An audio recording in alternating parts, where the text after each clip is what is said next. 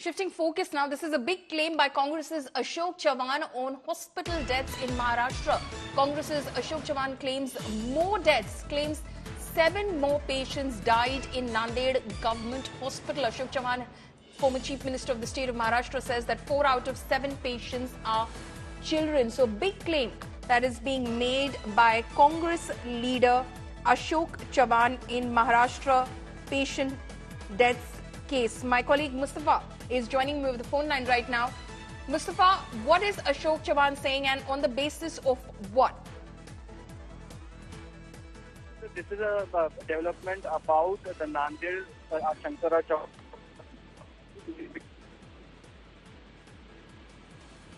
Okay, we'll try and reconnect with my colleague Mustafa, who's bringing us that important piece of breaking information that's coming in from Maharashtra, where Ashok Chavan, former Chief Minister of the state, says seven more patients have died in Nanded Hospital.